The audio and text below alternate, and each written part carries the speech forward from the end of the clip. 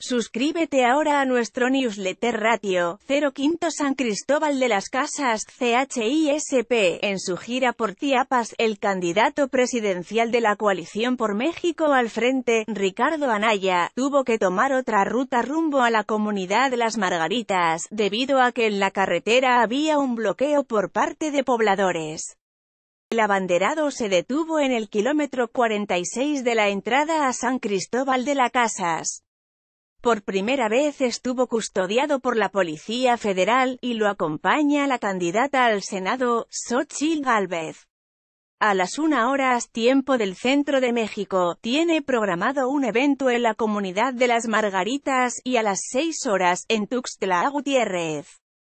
El Universal, GM a 30 de mayo de 18 calificar la nota, cero rating, yo expreso. Repórtanos por WhatsApp 662-126-2721.